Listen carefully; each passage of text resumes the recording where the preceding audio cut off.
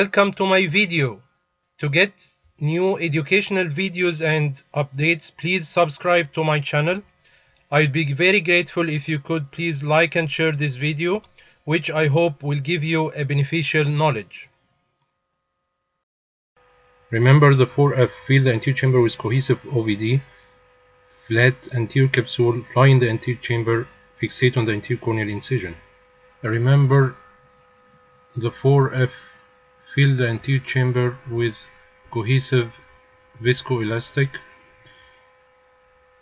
which will flatten the anterior capsule and if the anterior chamber is not filled with OVD and the anterior capsule is not flat it will tend to extend because it acts like a distended bag. So usually the capsule rhexis will extend to the sides of the capsule. The size and the centration of the capsule rhexis usually we aim at 5 to 5.5 millimeters and centration is on the cornea not on the pupil because really sometimes the pupil is not central. So you draw a line from the center of the cornea till the periphery of the cornea and then you bisect this line and you will have 2.5 millimeters radius of a circle and this will give you at the end about 5 millimeters capsule rhexis size. The other measurement is the size of the incision which is usually 2.4 millimeters.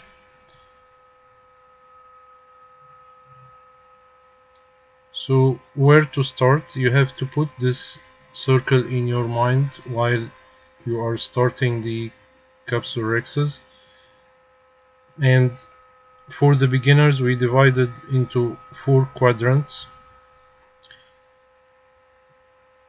So you have the incision at 12 o'clock and then at 6 o'clock is the inferior part then 3 o'clock near the paracentesis which I usually do it at 2 to 3 clock hours and the other paracentesis is around 9 o'clock as well so I start usually anti-clockwise sub-incisional because this is the difficult part because you have to adjust the angle of the cystotome. And then you push in the second quadrant. Then in the third quadrant you are pushing as well to complete the circle and then pulling in the last quadrant. So this is the direction of the forces. I'm using irrigating cystotome which is 25 gauge and I put it on the OVD cannula. This will help always maintaining the anterior chamber depth and flattening the anterior capsule. And this is easier as well if you have shallow anterior chamber. So you do a very superficial scratch not to disturb the anterior cortical lens matter from the center of the cornea with the reflex of the uh, microscope and till the periphery then you divide it into two. And this is approximately the uh, radius of the circle. So you start in the center towards the paracentesis. And then you pull it to draw anti-clockwise circle. And you try to pull the flap in the direction of the second quadrant. And around the 12 o'clock position subincisional I usually inject more OVD then you pull the flap from this area. It is easier to um, control it. So you leave about one millimeter from the edge. And then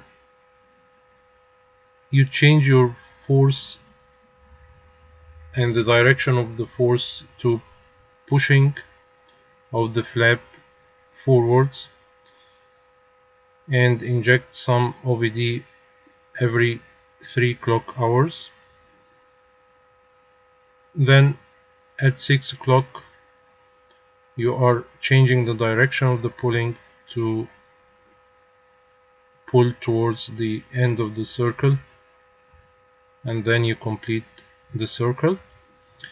So remember always the flat anterior capsule and fixate the cystotome up not down to the anterior edge of the uh, corneal incision. So in this position this is the point of the fixation and always don't press on the uh, globe and remember to fly in the anterior chamber especially if the patient under topical anesthetic. And when you go sub-incisional you have to change the angle of the cystotome and remember that it is a thin capsule holding a jelly inside. So under this jelly which is the lens there is water so everything is very mobile. So you have to remember that while doing this capsulorhexis and if you press on the posterior edge of the corneal incision this will make the anterior chamber shallow because the OVD will go outside the eye this is a case of a shallow anterior chamber. So I inject OVD while entering the anterior chamber and then at the inferior angle to remove all the echoes from the incision. Then I put some dispersive viscoelastic on the cornea. Then you enter the anterior chamber with the cystotome putting it onto the side and then rotating it. Then we start as we said from the center to the periphery and bisect the line. Then you have now a reasonable amount of radius to go with the circle. Anti-clockwise then I inject some OVD after moving about 3 clock hours. And I change the direction from here to pushing to complete drawing the circle. And always you have to inject OVD to keep the anterior chamber depth and to flatten the anterior capsule. Then now we have done half of the rhexis I change the direction to pushing and drawing the circle on the edge of the flap as shown here. And always make the flap in front of you. And now I'm changing the direction to pulling again. Then we finished the, circle. You can see now here the circle after removing the um, nucleus and the cortex. And here after implanting the intraocular lens the rhexis is covering all the edges. Here from outside to see the movement of my hand always fixate on the patient forehead. And inject OVD as we have said to make sure the NT chamber is filled then with the cystotome I always put it on the OVD. then we start as we discussed before anti-clockwise I start with the sub-incisional part. And you can see here from outside the eye I am injecting the viscoelastic and without going outside the eye. And I'm not pressing on the posterior edge of the wound always fixate on the anterior edge of the corneal incision and always fly in the anterior chamber and fill the anterior chamber with OVD and flatten the anterior capsule and then you change the direction every 3 clock hours. Now this is the last part by pulling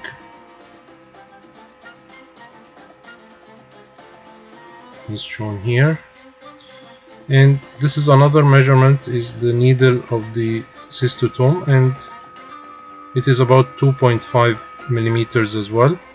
So this is another measurement that you can use during